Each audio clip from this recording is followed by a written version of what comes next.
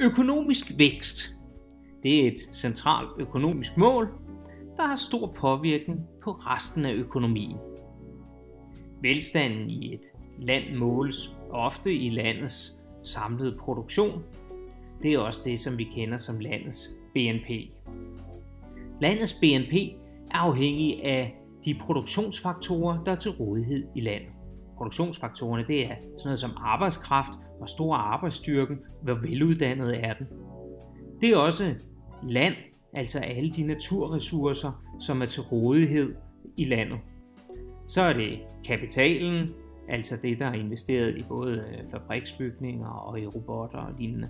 Og endelig er det, vi kalder entreprenørskab, altså hvor kvikke er vi til at tænke nyt og satse på fremtiden.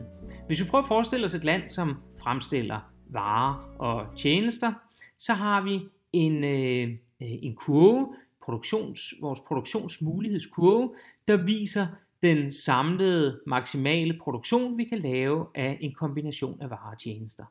Hvis vi ønsker at flytte ud på en kurve, der ligger længere ude, altså producere flere varer eller tjenester, så kræver det, at vi forbedrer vores produktionsfaktorer.